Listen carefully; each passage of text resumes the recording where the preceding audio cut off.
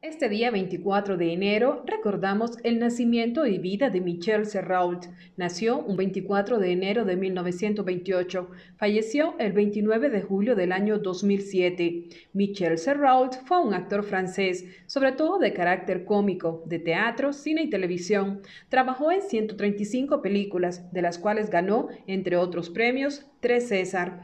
Saltó a la popularidad por su papel de homosexual en la obra de teatro La jaula de las locas y en película homónima. Sin embargo, su protagonismo en la película El placer de estar contigo es prácticamente inolvidable. Estaba casado desde 1958 y había tenido dos hijas. Una de ellas murió en un accidente y la otra es la actriz Natalia Serrault.